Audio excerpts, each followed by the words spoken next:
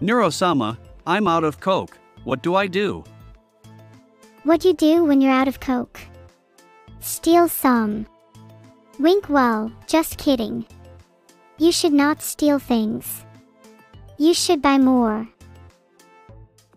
Neurosensei.